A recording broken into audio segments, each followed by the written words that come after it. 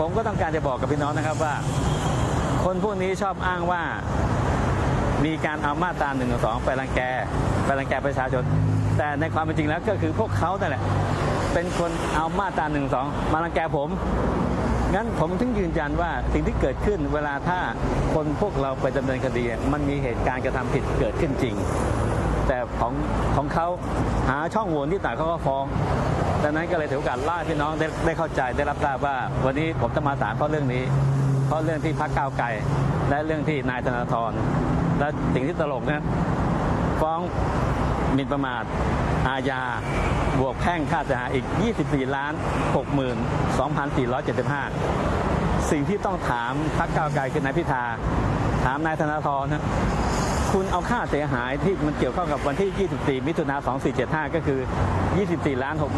62,475นะไปโยงว่าคุณเสียหายยังไง ตัวเลขนี้คุณแจ้งได้ไหม แต่ไม่เป็นไรฮะ ก็ต้องการจะสื่อสารให้กับพี่น้องประชาชนได้รับทราบว่า